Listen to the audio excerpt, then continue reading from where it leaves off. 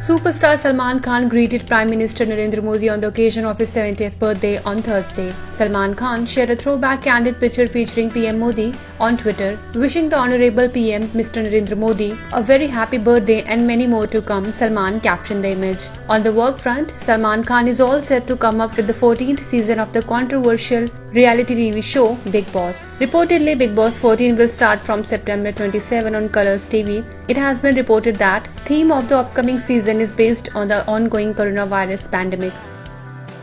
IANS report.